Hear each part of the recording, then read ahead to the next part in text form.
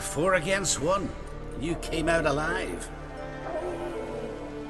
That's a shame to let such a lad waste away behind bars. Come on. Maybe Lugos will try you today. And they say violence is never the answer.